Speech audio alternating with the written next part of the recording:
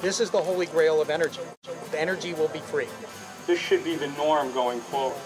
We have in front of us one of the greatest technological revolutions yet to come, the clean energy revolution.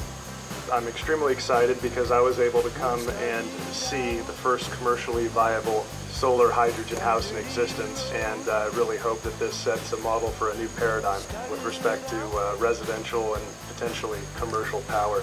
If a journey of a thousand miles begins with the first step, then it follows that the future of a thousand commercially produced solar hydrogen homes begins with the first home.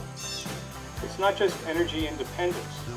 It's also how many billions of dollars every year consumers will save because they will not have to buy oil or coal or natural gas or even buy electricity. Whatever you can do with fossil fuel, you can do with hydrogen.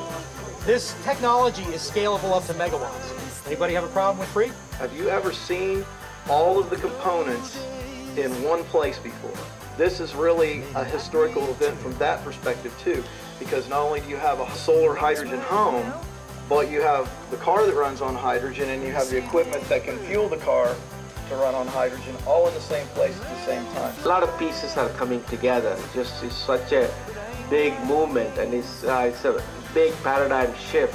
We need the political will. For far too long, the fossil fools down in Washington have been spending billions of dollars of our money subsidizing blowing off mountaintops or fracking or putting pipelines that we don't need or power lines to the middle of forests that we don't need. We have the ability to change the world.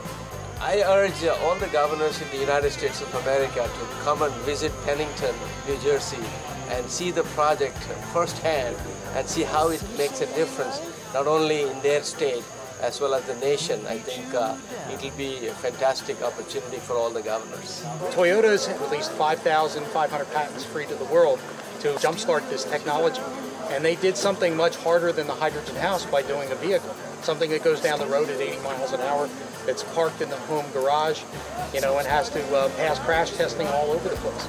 So they've been working on this for 10 years. I've been working on it for 30 years.